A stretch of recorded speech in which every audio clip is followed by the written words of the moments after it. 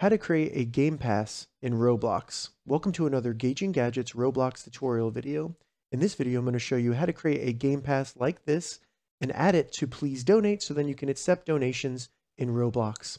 And before we get too far, if you're looking to make a game pass for Roblox on an iPhone or an Android phone, check the description because I'll have a dedicated tutorial showing you how to do that. All right, so to get started with making a game pass on a laptop or PC, the first thing we need to do is simply open a browser and go to roblox.com in our browser.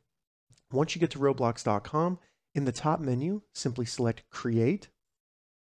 And then it'll load right here where it says Studio and Start to Create.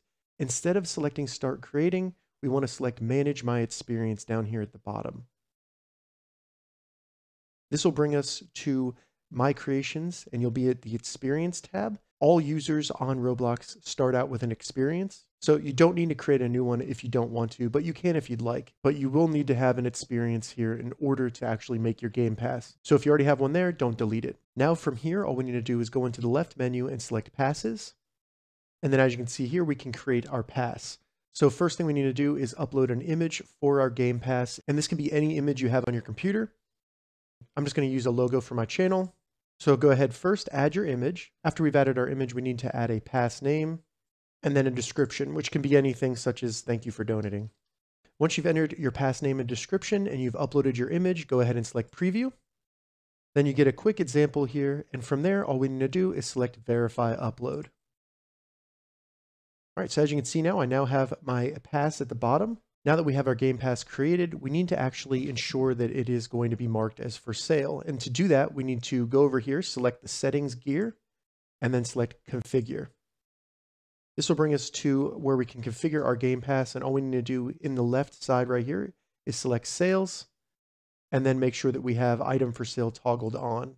And then the price here is going to be the amount that people can donate when they purchase your pass. Now keep in mind, Roblox will keep 30% of this amount. So if I do 10 Robux for this item, as you can see, I will earn 7 Robux because Roblox is keeping 30% of those. So just keep that in mind when you're setting the price for please donate. Once you've configured your price, simply go over to the right and select save. And we're completed. And now that we're in please donate, to add it to any of these stores here, all we need to do is simply walk up to the store. As you can see, it says claim this stand by holding E. So hold E. And then there you go. My Gauging Gadgets Game Pass has been added to this stand and people can now donate to me. All right, so that's how you create a Game Pass in Roblox. If you have any questions about this, leave a comment below. I'll get back to you as soon as I can. If you'd like to see more Roblox tips and tutorials, check the links in the description. If this video helped you, give it a thumbs up, and please consider subscribing to my channel, Gauging Gadgets, for more gadget reviews and tech tutorials.